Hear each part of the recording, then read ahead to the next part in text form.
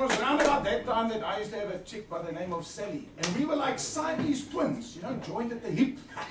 and we went, we went everywhere together, man. And I thought my whole life was coming together. But you know what they say about good times and so on? Good times are always followed by groot kat, just like in next song.